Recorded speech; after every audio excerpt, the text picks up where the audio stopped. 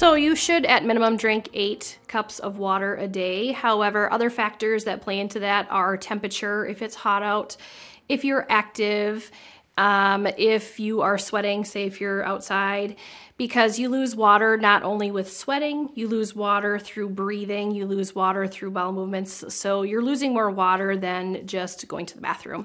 So lots of factors, including temperature, affect that as well.